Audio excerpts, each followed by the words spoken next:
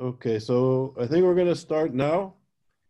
Uh, today, welcome everybody. Today we're here with uh, Yossi Shain. And I'm going to I'm going to give a brief introduction to Yossi. Uh, before I do, uh, so Yossi uh, will be speaking about the coronavirus and the Jews. And before I introduce um, Yossi to you, I just want to say that um, I would urge everybody to read the article that appeared last night in the Times of Israel that shows Roger Waters speaking to Hamas TV, uh, speaking literally about some of the most pernicious tropes of anti-Semitism uh, known known to mankind, and it, it's you could not have. Uh, you know, I think Roger Waters has become a character out of a Howard Jacobson's novel or something, but you can see where the, our concerns about anti-Semitic tropes with the virus and the economic lockdown, uh, we always were saying that viruses and Jews and anti-Semitism go hand in hand. You can see how the Nation of Islam, the BDS movement, and other actors are really painting Israel and the Jews in the most disgusting way. So I think Yossi's um, seminar today is really aptly timed, and these issues are going to become more and more, I think, of a problem or that we need to confront as a Jewish community, as scholars, and people concerned about democratic principles. Um, and we have to have a nuanced view of the struggle against racism in the United States, but how some are hijacking it with anti Semitic tropes. So we need a sophistication analysis of the situation, which is rapidly changing and fluid, and to build uh, policy and responses to fighting racism, reaching out to the African American community, and fighting the racism which is becoming more and more prevalent in this struggle. So, on that note, uh, Professor Yossi Shain is with us today. He's speaking about the coronavirus and the Jews. Professor Shain is a professor of political science, and, and he's also the head of the Abba Eban program of diplomacy at Tel Aviv University. He's also the co-chair of the master's program in political leadership at Tel Aviv University. And he's a professor emeritus of government at Georgetown University. Yossi recently published a very important book entitled The Israeli Century and the Israelization of Judaism. It will be coming out soon in the United States. Um, Isaac Herzog, the head of the Jewish Agency, called the book revolutionary and the most important book on the Jews and Israel in recent decades. Yossi Shain earned his PhD in political science with, with distinction from Yale University. He holds, uh, he has a dual academic career at Tel Aviv University and, and at Georgetown. Uh, at Georgetown, he was the professor of comparative government and diaspora politics, and he was the founding director of the program on Jewish civilization. So his his work uh, he's well published. He appears all over the world in the media, and he's really a true leader on the issues of politics, Israel diaspora relations, and these changing dynamics. So it's really and and um, Yossi, in addition to all his work, is a regular contributor to the ISGAP Oxford Summer Program that we hold for trained professors on issues of anti-Semitism. So it's always a an honor and it's wonderful to be able to hear you again, Yossi. Thank you for taking your time and welcome to our, our webinar. Um, I'll open my uh, the camera and I want to thank Charles. As you can see, I sit in my kitchen here at home. Uh, Mike Levitt, the Nobel laureate, who is in Tel Aviv also because of the corona. I met with him several times and he said, Corona make the people lazy. um, I don't know if they make the people lazy, but certainly we live in a very, very awkward um, kind of world in that respect. We don't see each other, we don't uh, associate with each other in classrooms, but only over Zoom. Uh, but we hope that this will uh, change quite fast. Um, I've been in Tel Aviv during the coronavirus. In fact, I came back just on the eve of the uh, explosion of the coronavirus, and it was also the just uh, days before the Israeli third election the same year. Uh, I came from India, where I spoke also about diasporas and, and so on. And very quickly, I realized that um, it's an opportunity of sorts to understand um, what is happening here in terms of the Jewish condition. Not that the coronavirus just touched the Jews, of course, touched the entire world in many respects, but there are always specific questions which can be raised about the Jews in such an event. Charles mentioned one related to the question of plagues and the Jews and anti Semitism, but I don't think this is the only one that is important. Perhaps there are even others which are more acute or more serious to ponder into the future. The first, of course, was the behavior of the state of Israel, where we have questions of sovereignty and legitimacy of the state and the democratic procedures um, were playing very quickly into the coronavirus because of the emergency powers which were uh, used by the government, and also because of the fact that the government shut the borders of the state. This, in and of itself, made Israel the home of only Israelis. And of only Israelis meant that Israel even went uh, to bring Israelis who were caught um, in other countries because of closures uh, and bring them home under the banner that here in Israel it's always the safest place where you are the best protected, almost kind of like um, uh, accentuating the Zionist vision of the supremacy of sovereignty.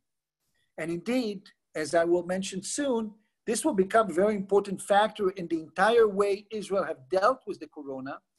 And since, and since Israel is now, by now, almost half of the world Jewry, and that's in and of itself an amazing phenomena of the 21st century, that the sovereign state of Israel is fast becoming the majority of the Jews around the world, also tells us that there is what, what, what Israel is doing is relevant to world Jewry at large. And that is, of course, when we take into account that the uh, amount of uh, casualties in Israel from the coronavirus was very small in comparison to the number of Jews um, losing their lives, especially in Britain and France and the United States, in other places, including even in Morocco and Sweden, etc., where we were working on the subject. In fact, while in Israel there are about 300 people dead by now, most of whom are people of old age, um, and many, uh, or, and almost half of them died in nursing home. Um, the number of Jews in the diaspora who uh, were uh, affected by the coronavirus and lost their lives, sadly so, is 30 times over. And this is for the same number of population, more or less. This in and of itself is an interesting issue. So let me say a few words about Corona and the Jews and how I see it in terms of the question that must be raised. Uh, I just completed an essay on the subject, which was sent for one of the British Journal, Journal of International Affairs for review. Hopefully they will take it, I don't know. Uh, but this is a massive kind of study to see how we can learn from this event and what uh, uh and, and, and where does it taking us just to be um, uh, uh, to be clear, this essay was also written with my very close friend and colleague, Daniel Goldman. So whatever is the essay and my thoughts uh, also shared with Mr. Goldman that deserves all the credit. And um, so let me put it this way. Uh, in my book, The Israeli Century and the Israelization of Judaism, I made the point that we are in this unique period where Israel is taking center stage of the Jew, for the Jews. And the behavior of Israel and the condition of Israel as, leading, as, as the leader of the Jews, wherever they may be, notwithstanding whether you agree with Israel or not, but just the reality that the vast majority of, of Israelis will be, uh, of, of, of Jews will be in Israel, and Israel is speaking for the Jews with some authority, is a, is a mega shift from the Jews as a diaspora. And that kind of led me to, to think about, as an epilogue for the, for the book, what will happen now in the corona? What we saw, and this is very quickly, quick points, is that the corona raised interesting issue about Israel's sovereignty. One is, of course, the criticism of Netanyahu and his government regarding how they treated the emergency powers um, to, in some people's mind, too harshly or to subvert democratic processes. I don't want to get into the democratic uh, uh, debate inside Israel. I don't think this is the place to do. But the fact that there were so many closures and there was sort of like an idea that people in Israel uh, were locked into their homes and the borders were, were locked only for Israelis to come back home made the point that Israel takes first and foremost care of its own citizens, notwithstanding whether they are Jews or Arabs. In fact, during the coronavirus, Israel found something very remarkable, and this is at the time of the third election, which brought kind of rupture between Arabs and Jews, that just because of the coronavirus, there was much greater cohesion because, between Arabs and Jews, as Arabs also are 20 plus percent of the Israeli medical system. And they were all over the place treating coronavirus patients. And they were also being treated by the government in closures and other places, including military soldiers coming into Arab villages and serving food and helping the population. And this is at the time when the borders were locked for Jews from the diaspora who were suffering because of that. That was quite a remarkable thing for people of the liberal, uh, uh, I would say, uh, uh persuasions, who are oftentimes tell Israel because of the law of uh, uh, what we call the, the, the, the, national law, or because of the fact that Israel is a Jewish state, that we should be liberal, will always say Israel should be much more open to all its citizens, the Arab. In fact, what we saw here, that the Arabs of Israel got a better treatment, quote unquote, than the Jews of the world. The Jews of the world were not allowed to come to Israel Israel considered their safety and their well being in many ways secondary to the well being of its own citizens. This just shows us our sovereignty and statehood is coming almost at the top of the agenda, and it's always overwhelming or perhaps overshadowing the kinship ties between Israel and other Jews. In that respect, anti Semitism, which was felt in the diaspora, and we'll talk about it before, was to some extent was not affecting the state of Israel, which was acting as a sovereign, strong state, accentuating the, the, the idea that we are so strong. Inside the state of Israel, another issue needs to be addressed, and I was addressing it in my work, which is the role of the ultra Orthodox. The ultra Orthodox, which always question the sovereignty of the state of Israel, because they consider the state of Israel in and of itself almost a blasphemy, something which should not have existed as a secular state before the arrival of the Messiah. Suddenly, the people of Bnei Brak and other cities who were not heeding to the warnings and were very, deep, were very deeply affected by it, were became the nemesis of many Israelis initially, because many Israelis treated them and said, "Look at them; they do not obey the state, and they are going to spread the disease." This was creating inside Israel what Charles would call kind of like, I would say, uh, uh, uh, uh feelings of internal anti-Semitism against ultra-Orthodox. And even Benjamin Netanyahu was criticizing this vision because many Israelis said, look of the ultra-Orthodox, they are becoming infected. We do not have enough ventilators in the hospitals. They may take our own ventilators without contributing to the state, even though they are objecting to the state. This led to a revolution, no less, among ultra-Orthodox Jews, including numerous papers, etc., of rabbinic and so on and so forth, which started to question their own behavior. Not only that, the fact that in Israel, the minister of health, himself an ultra Orthodox, playing both as what we called a tenant and a landlord in the same state, was also putting tremendous pressure. How can you be part of the state and do not obey to the state? And eventually, the ultra Orthodox not only obeyed to the state, but the army went into Bnei Brak the army put in food. The army put a total closure and curfew on this. And that kind of like surprisingly brought the ultra Orthodox closer to the state, appointing by themselves generals of the Israeli army to treat them, showing in fact that they are no longer are seeing themselves as sojourners in the state, but rather as part and parcel of the state. This is an interesting case this will lead and already led to many questions of theology. What is the theological explanation to the disease? To what extent we should listen to authorities versus listening to rabbis? And who is the authority? To rupture within the community All of these things will play out in the near future as we move on. In the diaspora, of course, the question became very much associated with the Jewish communities in Britain, in France, who were celebrating Purim and who were infected and who suffered devastating results because of that, but could not get the state to address them as Jews because they are just as the rest of the citizens. On the contrary, they were locked into themselves, could not even substantiate their communal life, not in terms of mikvaot, of, of bath, or, or, opening schools or, or synagogues, and all of the above. The, the very fact of keeping Jewish uh, religious life or communal life became impossible. While in Israel, they were all kind of in the same boat of a nationalist attitude that allowed the nation to substant, to supplement the religious groups. And that was an interesting development. The fact also that Jews had to contend with closing of institution without infrastructure was also very important, yet to be studied. And that is something that needed to be addressed by rabbis, by, by communal leaders, what to be done, including question of women's purity, mikvaot, all of these issues, lots of articles appeared. But let me go to ISGAP's sort of mission, which is the notion of anti-Semitism.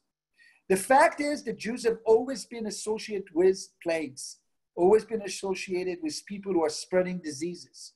And even now, there lots of charges were made. They were made mainly against the Jews in the diaspora, albeit there were also charges that Israel was part of the conspiracy. But as one scholar wrote, these allegations of um, anti-Semitism were not so explosive as one could expect even.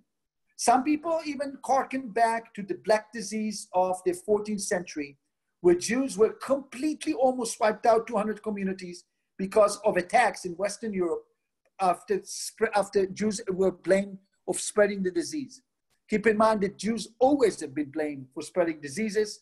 They were the ones who were blamed during the black disease, and then they, and they were the one who, who, who, who always were blamed for being dirty Jews and they were the one who were for those who are poisoning wells. And of course, when it got to the Nazis, they were the parasites who are sitting, who are sickening, who are sitting on the soul of the folk of the of the nation of Germany, and therefore needs to be hygiened and gassed to death. That is, that's the thesis. Now, the anti-Semitic attacks as, as much as they were, uh, uh, uh, uh um, uh, were, were, were alarming, became very quickly intertwined in other things which are happening, especially in the United States. Of course, anti-Semitism in the United States in the last few years didn't need the, the coronavirus. We had the right-wing attacks, we had the, the other attacks of the, uh, uh, of, of the extreme left and Islamic one, and we have BDS. But the coronavirus accentuated some of these issues in terms of the language. We saw it with Mayor Blasio because of the lack of uh, uh, uh, uh um, discipline among uh, religious or ultra-Orthodox Jews, the fact that they are living in incredible density, the fact that for them not to open the shuls or the, syna- or the synagogues or the schools was unacceptable. These have led to lots of uh, anti-Semitic tropes, as you said, Charles, and um, the, the big debate or the big question is how deep it runs, how much it basically um, uh, st- stigmatized the Jews. And that is come on the hill of what happened in American streets. On American streets, when the, when the explosion came uh, during the corona with the uh, killing of the um, Mr. George by a police officer and the whole explosion of anarchical nature erupted, the big question was where the Jews are in this business. To what extent the all Black Lives Matters uh, became, as in the words of some Jewish leaders, including the leader of the President of Conference, that this is anti-Semitic tropes are being are being used. I think that this issue has nothing to do with the coronavirus itself. It's something which is part of the uh, charges which are leveled against the Jews in among progressive uh, groups. Among non-progressive and right-wing, conspiracies of Jews were always there. So nothing in that respect was was was um, uh, uh, uh new. Uh, I think the only thing is that there were also some uh, conspiracy theories which were propagated, especially by Turkey and other, that to say that Israel is spreading the disease, that Israel and the Jews have intentions of spreading the disease. They will, they will be the one who will benefit from it, as they said on Turkish television and so on. So uh, lots of things like that happened. I don't want to exaggerate them, nor do I want to minimize them, but yet, yet to be studied how much they really resonated or how much it is sort of like uh, uh, the uh, social media, which could be used very, as you know, on every issue uh, so um, cavalierly. Um, so in that respect, you can see that there are like several issues pertaining to the Jewish question, and I'll summarize them. One is, of course, the level of sovereignty vis-a-vis Israelis. What does it mean, Israeli first? Is, is Israeli first comes at the expense of the diaspora? What about the kinship ties? Why Israel did not heed to diaspora uh, uh, desires? Many people in the diaspora, rabbis, etc., said to Israel, "You have deserted us. We have helped you all these years. Where have you been?" And then, of course, inside Israel, there was the idea of the ultra-orthodox. To what extent the, the level of, uh, uh, uh, uh I would say, enmity, which was shown in Israel vis-a-vis the ultra-orthodox, who did not heed initially to the state, was creating in and of itself sort of like a, tropes of Israeli internal anti-Semitism, as people would say. And that is a very interesting case. And last but not least, of course, the issue of the anti-Semitism in the case of the diaspora. The diaspora, as we say, suffered several, especially religious communities. We have now about, um, by numbers that we have in France and in England, uh, devastated communities that are now only now coming out of it, uh, leaders of the consistoire uh, and others. Um, but we will see whether it has a lasting impact. And they also had to contend with the closures, etc., and with some of the stories of the past, how much it was the anti-Semitic origin, or was it something which was passing because of some extremists in the media? Yet to be seen, yet to be studied. And I trust that Charles, with his incredible team, will do a great job. I'll stop here for comments. Cool. So Yossi, thank you very much for your insights. Uh, you can hear me? Okay. I can barely hear you. Okay, I'm going to speak loud. You know what? I'll shut my, my camera and I'll try to hear you. Okay. Okay, so the, the question that I had, Yossi, Yossi, you can hear me? Yeah, I can hear you. Okay. So thank you for your, your analysis of the current situation. Given all the strains of anti-Semitism that you mentioned, so we have the, this, this time of COVID, we have right-wing anti-Semitism, left-wing anti-Semitism, intellectual anti-Semitism, political Islam, and now with this sort of, uh, you know, as you said, this sort of anarchistic explosion of rage in the United States to the brutality, to police brutality, to the murder of of uh, George Floyd, and uh, and systemic racism becoming a very important issue in the American political discourse. Um, there's an element of this movement which is using anti-Semitism. It's it's clear. Um, the Nation of Islam, the BDS movement, Students for Justice in Palestine, uh, the fact that Roger Waters, who has a lot of following, is on Hamas TV, you know, as a almost as a this horrible caricature, reciting the protocols of the Elders of Zion, and it's becoming a mainstream narrative. So all this is happening. So I describe things that are happening that everybody knows. But my question is this: with sort of the global economic crisis that was developing before the virus, before the economic lockdown for COVID 19. But now, with the economic crisis, we have at least 30 million Americans unemployed. Um, the ripple effects of the, you know, the shutting down of the global economy has been profound, particularly on weaker societies. Do you, do you see the potential for significant rises in anti-Semitism and even instability? Emerging, or do you think that this will dissipate over time? And if this is Look, serious, what's what's the role of Israel in, in all this? Do we does Israel become the safe haven now? First of all, um, as I said, one has to make a distinction here, because if, if as, as, as we say, more or less, the world, the world Jewry is now divided between the diaspora, which is now 54% or so, and Israel 50, uh, 46%, but more or less the same numbers, and especially in terms of like mob- mobilization in the community.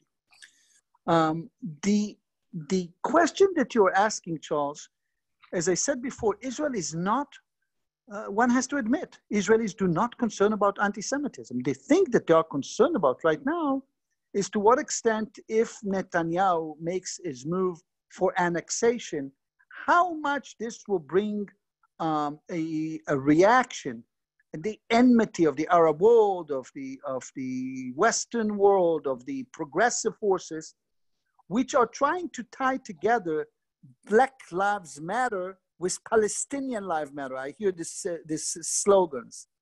Um, and so this is part of sort of like a, an Israeli oriented anti Semitism a la BDS, or what I call the Israeli component of anti Semitism, which Israel was is concerned about, but was not in terms of the anti Semitic, uh, I would say, uh, uh, sensitivities of people who reside in France, in Britain, in the United States, in Canada, wherever. Because for, for the Jewish communities abroad, their vulnerabilities are not de- derived from this Israeli behavior or not. Their vulnerabilities derive indeed from their unique lifestyle, let's say, of the ultra Orthodox and how they are being perceived in the public. Who is propagating the idea that the Jews are uh, spreading a virus and their behavior is uh, dangerous to the public? They are concerned about the fact that um, others who are demonstrating uh, will see them as people who are not part and parcel of the liberal creed, even though Jews are part, so much part of the liberal creed, but the communal religious ones are not. So there's always kind of a debate within the Jewish communities themselves. Should we be universal or should we be particular? And the rivalry, as you very well know better than I do, is, is always within this community. Whether I see this as a source of explosion in France or in England, I don't think so because I don't think it's being waged from above. It's not something which is being sanctified or authorized or even uh, uh, accepted by the top uh, echelon of the society, but rather is being uh, negated and even um, protected and, and, and debunked.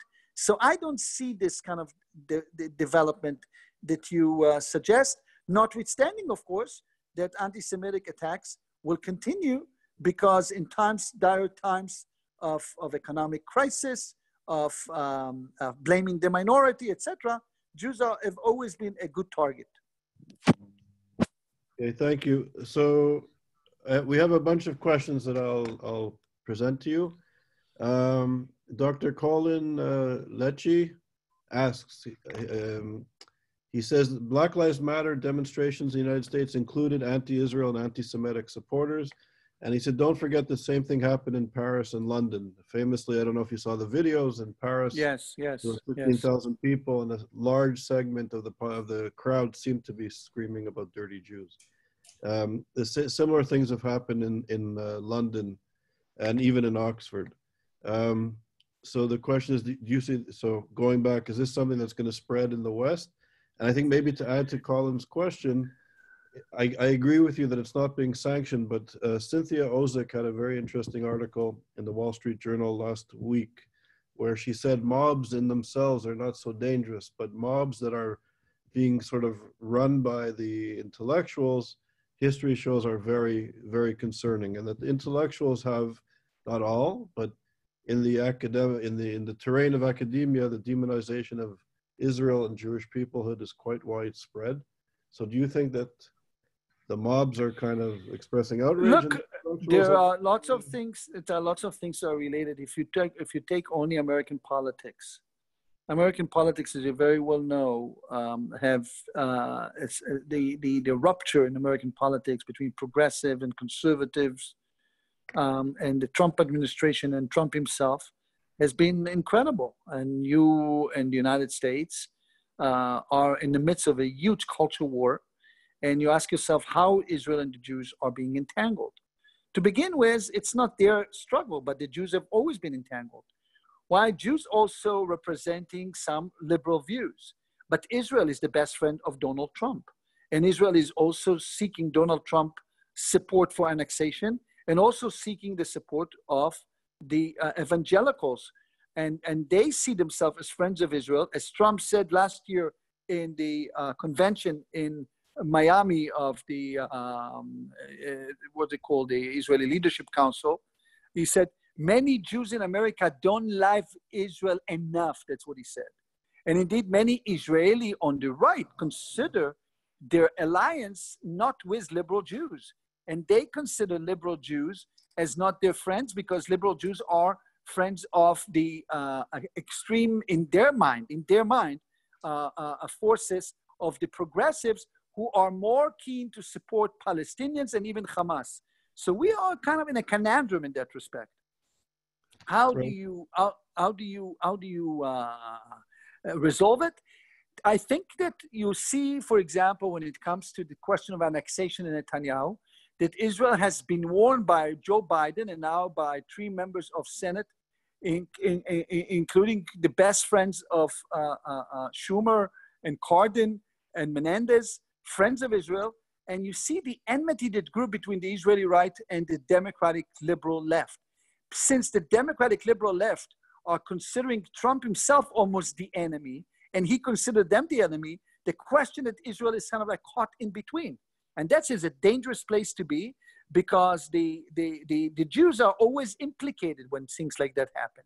And that is in addition to many other things that we describe also about the, uh, the Jews uh, of the community, because liberal Jews are not Jews of the community. Among liberal Jews, the, the, the, the disease didn't struck in the same intensity because they do not live in such dense communal uh, level. While the ultra Orthodox Jews is a completely different story. It's a story related to the liberal condition, to the liberal state, to how much this minority contribute to us, or how much this minority sees us only as a, a vehicle for their own interest. And, and, and Bougie Herzog that you mentioned, that was so kind to my book, also make the point that we are uh, likely to witness a massive migration of Jews from the diaspora to Israel um, we are all witnessing. Let's see if this was really happening. It's too early to tell. Interesting. So, um, what, Yossi, are you able to turn on your camera, or it's it's not good? You lose yes. sound. So one of the one of the follow up questions I wanted to ask you. Can you hear me? Yeah, I hear you. Okay. One of the questions I wanted to ask you, which you're an expert of, I was reminded of uh, Menachem Begin when he annexed the Golan Heights he did it, uh, it was a surprise to many people, and he did it quite quickly. Netanyahu and the, the government seems to be taking a long time and seeing, testing that they're putting their toes in the water and testing people's reaction. So everybody kind of knows this may happen. So, and as you say, Israel's sort of stuck in the middle of this sort of political, domestic politics of the United States. If if there will, will be annexation, do you see this feeding into the unrest uh, in the United States? And does this will this harm Israeli American and Israeli Jewish American relations? Look, I don't think they like to compare 1981 to now. Um, it's almost 40 years. The Golan Heights was never contested in the minds of hearts and Israelis. They always saw its part. It was not also populated. Uh, there was no question of boundaries there. There was only the enmity of the Syrian regime of um, Hafez al-Assad and later, of course, of Bashar al-Assad. So no one in Israel, you know, uh, saw it as a big deal in that respect. The West Bank or Judea and Samaria is heavily populated with Palestinians and lots of questions are raised. Are we going to annex them? Are it's going to be what people charge? It's going to be apartheid? Are we going to leave some enclaves there? This is unsettled issue and especially in light of the, the, the, the, the Trump uh, plan, uh, the plan of the century, which became kind of like almost the, uh, the catch of, this tw- of the century. It's kind of like a, almost a trap of the century, what to do. And the, and the plan of the century that Trump presented, 30% of the territory should be part of Israel, but he also talks about a Palestinian state and sovereignty. Many, many times it mentioned Palestinian sovereignty. None of the Israeli right wing ministers are ready even to, to discuss it. The, the, plan, the, the argument has been that since Palestinians will not accept uh, uh, such a small state, let's annex and let's leave them there and so on. This creates tensions, and this is something which is completely separate from the coronavirus. It comes on the top of things. It comes on the top of the Israeli uh, a, a endless, almost political crisis until this government was built. Um, but I would separate the two issues. I really would separate the two issues. So I wouldn't, I wouldn't make the, the populist approach saying, you know, Begin did it in one day, why can? Because it was a completely different, different story, the Golan Heights. And we saw when Donald Trump recognized the Golan Heights, you know, the world was quiet. You know, it's clear cut.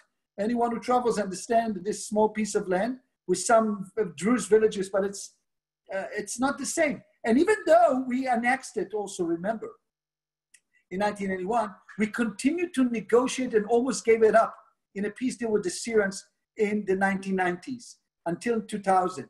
Uh, it was Hafez al-Assad who was not ready to give to get back the land and sign with Israel. That was this acute mistake. But Israelis were ready to give it up, including Netanyahu, when he sent to Hafez al-Assad Mr. Ron Lauder, who is now criticizing Israel for not being kind enough to the diaspora Jews during the coronavirus.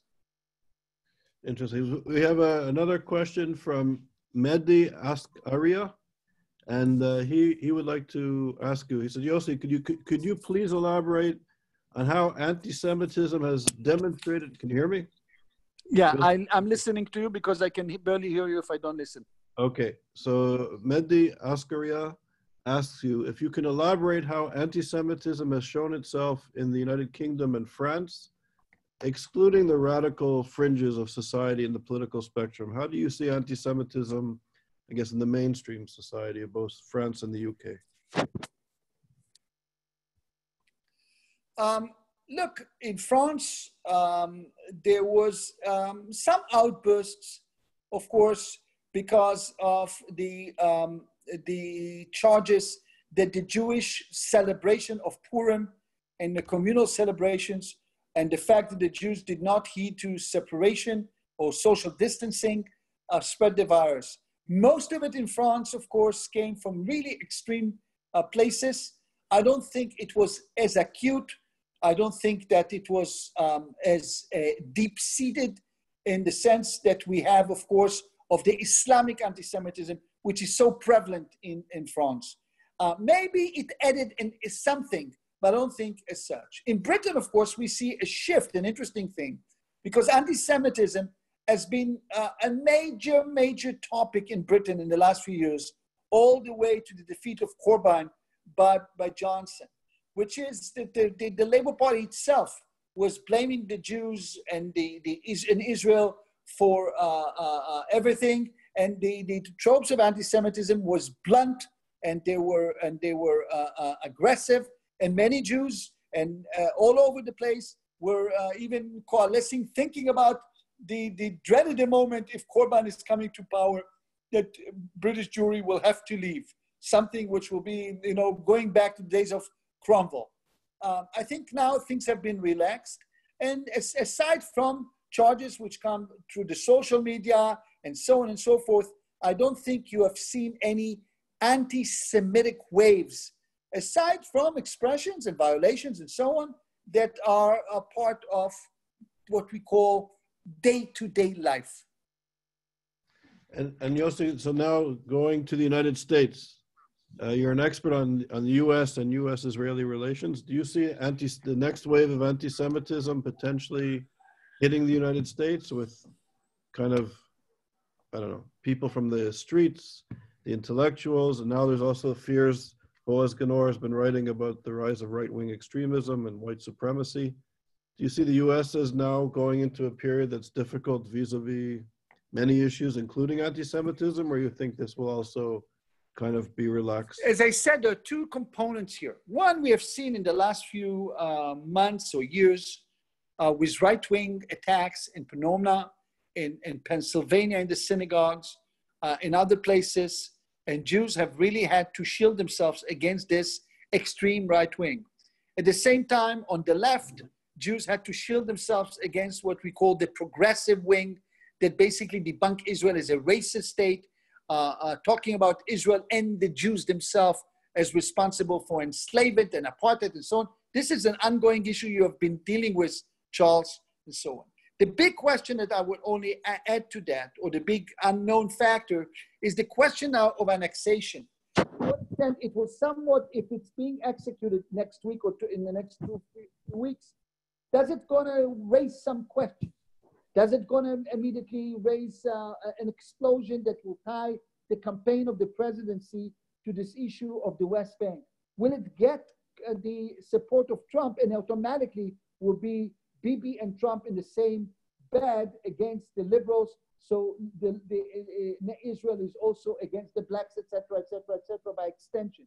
All of this yet to be seen, and there is a potential for flaring of lots of charges. Um, does it take, does Israel take it into consideration? It does, but not in the same intensity one can imagine, because in Israel, lots of other things are being considered, including the position of the prime minister himself, his political future, his indictment in court, the, the, uh, the, uh, the settlers, etc., etc. The diaspora is not being taken into consideration in a serious business, even though we have a Okay, thank you. We have a, a, question from Jeffrey Bernard, and he's asking, uh, he asked, Jeffrey Bernard is asking the ouster of Jeremy Corbyn, has this really improved the uh, Labor Party vis-a-vis -vis anti-Semitism and the Jews? Do you see significant changes in the Labor Party?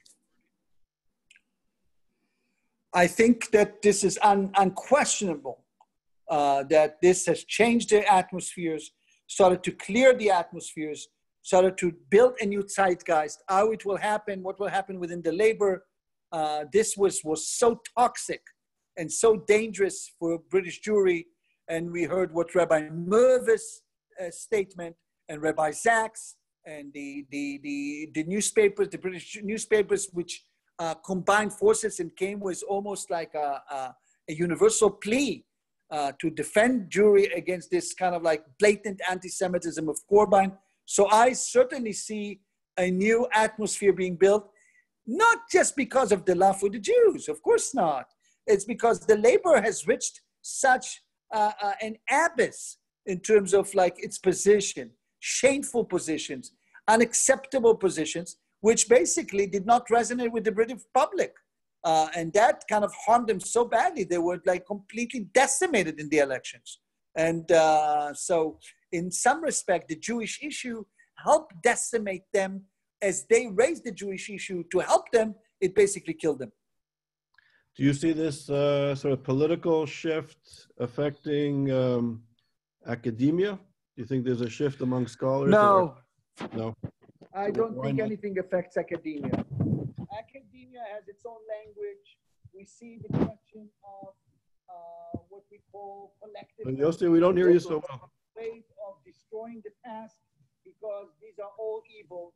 We see how they concoct the whole idea who perpetrated evil. And under this banner, Jews are always susceptible, notwithstanding the fact that they've been victims, but they were always also been described by left and right, especially the left, as sort of like joining evil, colonialism, the question of liberal and money, how much money they control. So this is something which always plays out into the hand and language of debunking the Jewish community. And Yossi, so you, with this academic, with this reality in academia, and uh, the protests in the streets, and some of the discourse from the street, do you see this as potentially dangerous, or do you think this will pass? Look, uh, dangerous, of course. We don't like it. We'll see how things evolve. These are anarchic moments in America. Think about it. Uh, the protest against uh, uh, uh, police brutality notwithstanding, which everybody accepts, and the fact that anti- racism should be completely wiped out from America, if it ever will be. Uh, but there is a moment of demonstration for human rights and black rights, etc., to anarchic moment of, of burning and looting that create anarchic moments in America. To that respect, the president and the right wing in America react with their own anarchic moment because they're saying that under the banner of rights, the left is perpetrating anarchy to unseat the president. So he will act anarchically with his supporters to uh, uh, uh, undermine the counter forces.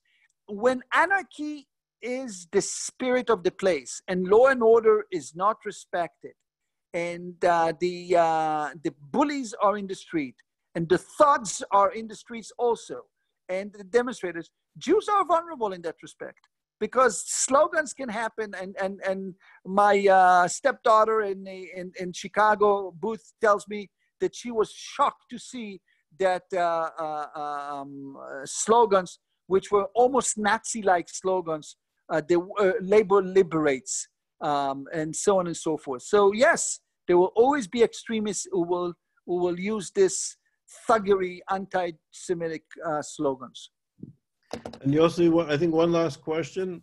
Given given Jewish American identities, it's plural, it's a pluralistic uh, community. So, given Jewish identities in the United States, do you think this moment will galvanize the Jewish community to have a stronger Jewish identity and a stronger identity with Israel? Or will this sort of speed up perhaps the assimilation process or the, the schism between Israel and American Jewry? it's hard for me to make prophecies or to say what will happen. Uh, America went through lots of upheavals and back and forth. And American Jews are very well settled in America. For them to take their uh, stuff and go, it's not so, uh, it's not in the cards. And yet, um, the big question is what will happen to America? How America will recover from the economic downturn, how the culture war that is now uh, engulfing so many people will affect communities. It will be touching different communities. What will happen on campuses which are now completely locked? Um, or things will subside and we get into quote unquote normality until the next wave of sorts. Uh, I think it's too early to tell, Charles. I don't want to make any predictions. Okay, but interesting times. okay, so Yossi, so I was, I was saying, uh, I'm glad you don't want to make predictions, but these are interesting times for uh, research and analysis. So, yes, absolutely. So Yossi, thank you for taking your time and being with us today. I really appreciate it. And uh, Mazel Tov on your thank, new book. And we'll see. Thank you so much for for you, to the organization, to all your supporters, and uh, we are wishing for good days. Okay, amen. And I'll just say on a on a closing note, on Wednesday at the same time, uh, we have a, a very insightful scholar and intellectual. His name is Haras Rafiq. Haras is the uh, C- CEO of the Quilliam Foundation, which is a, in, a foundation, a think tank of Islamic or Muslim intellectuals dealing with policy issues, including anti Semitism. And um, Haras Rafiq has been teaching on our summer programs and has been affiliated with ISGAP for many years. So it's going to be a treat to hear him on Wednesday at 11 a.m. New York time. And his, he'll be speaking on Muslim uh, thinking and issues of anti-Semitism. So until then, everybody be safe and well. And thank you very much for joining us. And I hope to see you on Wednesday. And Yossi, thank you so much. All the best to you. Bye-bye. Well, thank you.